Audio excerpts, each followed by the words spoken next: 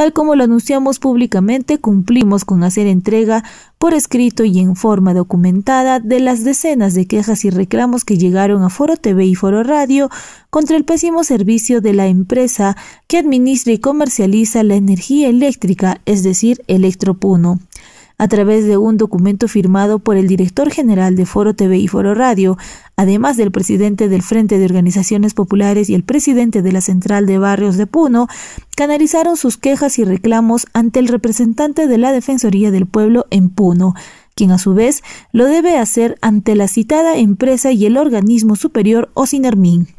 Ahora se espera que estas solicitudes de la población sean admitidas y atendidas para que de esta manera lograr que se respeten sus derechos y se evite cualquier forma de abuso de esta empresa.